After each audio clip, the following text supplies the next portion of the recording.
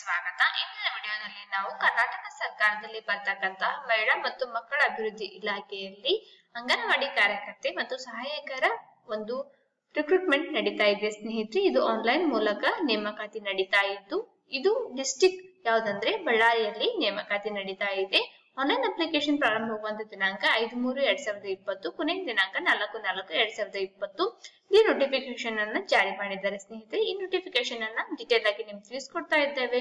ನೀವಿನ್ನು ನಮ್ಮ ಚಾನಲ್ನ ಸಬ್ಸ್ಕ್ರೈಬ್ ಆಗಿಲ್ಲ ಅಂದ್ರೆ ಈ ಈಗಲೇ ಸಬ್ಸ್ಕ್ರೈಬ್ ಆಗಿ ಬೆಲ್ಲೈಕನ್ ಮೇಲೆ ಹಿಟ್ ಮಾಡಿ. ಹಾಗೆ ನಾವು ಹಾಕುವಂತ ಎಲ್ಲಾ ವಿಡಿಯೋಗಳನ್ನ ಪಡೆದುಕೊಳ್ಳಿ ಸ್ನೇಹಿತರೆ. ಉಪನಿರ್ದೇಶಕರು ಮಹಿಳಾ ಮತ್ತು ಮಕ್ಕಳ ಅಭಿವೃದ್ಧಿ ಇಲಾಖೆ, Ballari.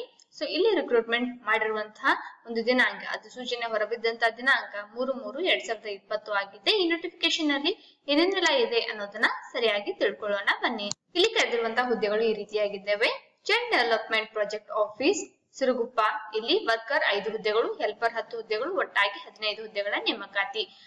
Child development project office ಹೊಸಪೇಟೆಯಲ್ಲಿ ಹನ್ನೊಂದು ವರ್ಕರ್ ಹುದ್ದೆಗಳು, ಹದಿನೇಳು ಹೆಲ್ಪರ್ ಹುದ್ದೆಗಳು, ಒಟ್ಟಾಗಿ ಇಪ್ಪತ್ತೆಂಟು ಹುದ್ದೆಗಳು.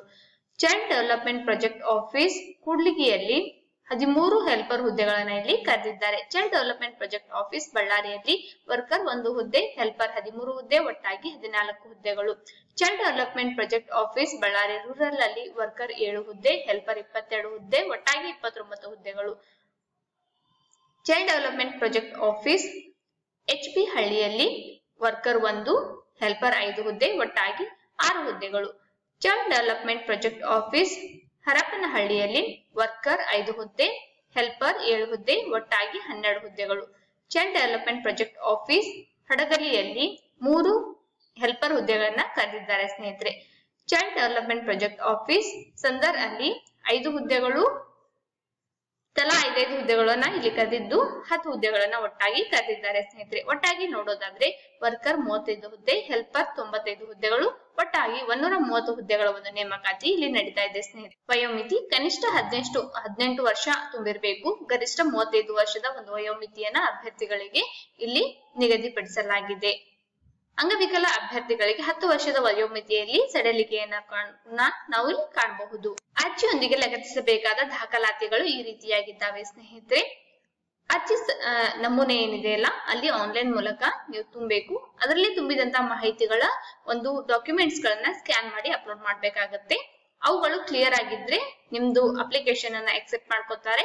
ಕ್ಲಿಯರ್ ಇಲ್ಲದೆ ಇದ್ರೆ ನಿಮ್ಮ ಅಪ್ಲಿಕೇಶನ್ ರಿಜೆಕ್ಟ್ ಆಗುವ ಚಾನ್ಸಸ್ ಇರುತ್ತೆ. ಹಾಗಾಗಿ, ನೀಟಾಗಿ ಕ್ಲೀನ್ ಆಗಿ ಅದನ್ನ ಸ್ಕ್ಯಾನ್ ಮಾಡಿ ಅಪ್ಲೋಡ್ ಮಾಡ್ಲಿಕ್ಕೆ ರೆಡಿ ಮಾಡಿ ಇಟ್ಕೊಳ್ಳಿ. ಸೊ ಯಾವ ಡಾಕ್ಯುಮೆಂಟ್ಸ್ ಅಂದ್ರೆ ಜನ್ಮ ಪ್ರಮಾಣ ಪತ್ರ ಇದ್ರೆ ಅದನ್ನ ಅಪ್ಲೋಡ್ ಮಾಡಬಹುದು ಅಥವಾ ಜನ್ಮ ದಿನಾಂಕ ಕುರಿತಾಗಿ ಎಸ್ ಎಸ್ ಎಲ್ ಸಿಯಲ್ಲಿ ನೀಡಿರುವಂತ ಒಂದು ಅಂಕಪಟ್ಟಿಯಲ್ಲಿ ನೀಡಿರ್ತಂತ ಒಂದು ದಿನಾಂಕವನ್ನ ಕೂಡ ಜನನ ಪ್ರಮಾಣ ಪತ್ರಕ್ಕೆ ನಾವು ನೀಡಬಹುದು. ವಿದ್ಯಾರ್ಥಿ ಕುರಿತಾಗಿ ಒಂದು ಪ್ರಮಾಣ ಪತ್ರ ಅಂದ್ರೆ ಎಸ್ ಎಸ್ ಎಲ್ ಸಿಗಿಂತ ಹೆಚ್ಚಾಗಿ ವಿದ್ಯಾರ್ಥಿ ಹೊಂದಿದ್ರು ಕೂಡ ಎಸ್ ಎಸ್ ಎಲ್ ಸಿ ತೆರಗಡೆ ಹೊಂದಿರುವಂತ ಒಂದು ಅಂಕಪಟ್ಟಿಯನ್ನ ನೀವಿಲ್ಲಿ ಲಗತ್ತಿಸಬೇಕಾಗತ್ತೆ ಅಥವಾ ನೀವು ಹೆಲ್ಪರ್ ಹುದ್ದೆಗೆ ನೀವು ಅಪ್ಲೈ ಮಾಡ್ತಾ ಇದ್ರೆ ಒಂಬತ್ ನಾಲ್ಕರಿಂದ ಒಂಬತ್ತನೇ ತರಗತಿವರೆಗೂ ನೀವು ಅಭ್ಯಾಸ ಮಾಡಿದ್ರ ಕುರಿತಾಗಿ ಒಂದು ಡಾಕ್ಯುಮೆಂಟ್ಸ್ ಗಳನ್ನ ಅಪ್ಲೋಡ್ ಮಾಡ್ಬೇಕಾಗತ್ತೆ. ತಹಸೀಲ್ದಾರ್ ಮತ್ತೆ ಉಪ ತಹಸೀಲ್ದಾರಿಂದ ಪಡೆದಂತ ಒಂದು ವಾಸಸ್ಥಳ ದೃಢೀ ದೃಢೀಕರಣ ಒಂದು ಪ್ರಮಾಣ ಪತ್ರವನ್ನ ಅಪ್ಲೋಡ್ ಮಾಡಬೇಕು.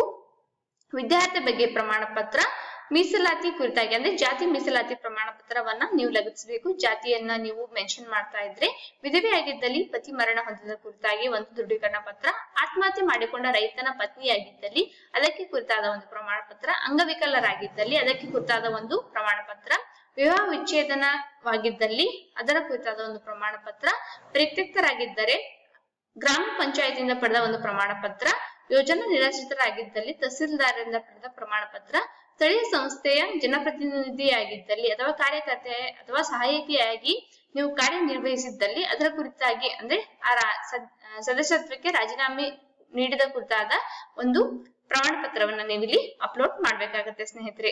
ಸೊ ಫ್ರೆಂಡ್ಸ್ ಇದು ಅಂಗನವಾಡಿ ಕಾರ್ಯಕರ್ತೆಯರು ಮತ್ತು ಸಹಾಯಕರ ನೇಮಕಾತಿಗೆ ಕುರಿತಾದ ಒಂದು ಡೀಟೇಲ್ ಆದ ಮಾಹಿತಿ ಈ ನೋಟಿಫಿಕೇಶನ್ ನಾವು ಡಿಸ್ಕ್ರಿಪ್ಷನ್ ಅಲ್ಲಿ ನೀಡಿರ್ತೇವೆ. ಸರಿಯಾಗಿ ಓದ್ಕೊಂಡ್ಬಿಟ್ಟು ನೀವು ಅರ್ಹರಾಗಿದ್ದೆ ಆದಷ್ಟು ಬೇಗ ಅಪ್ಲಿಕೇಶನ್ ಅನ್ನು ಹಾಕಿ ಅಥವಾ ನಿಮ್ಗೆ ಯಾರಾದ್ರೂ ಗೊತ್ತವರು ಇದ್ರೆ ಅವರು ಕೂಡ ಈ ವಿಡಿಯೋನ ಫಾರ್ವರ್ಡ್ ಮಾಡ್ಬಿಟ್ಟು ಅಪ್ಲಿಕೇಶನ್ ಮಾಡ್ಲಿಕ್ಕೆ, ಹಾಕ್ಲಿಕ್ಕೆ ಹೇಳಿ. Thank you